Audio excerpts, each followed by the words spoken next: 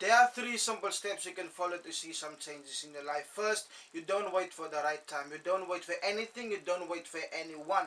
And secondly, never undervalue your knowledge, your skills, your experience, and don't underestimate yourself at all.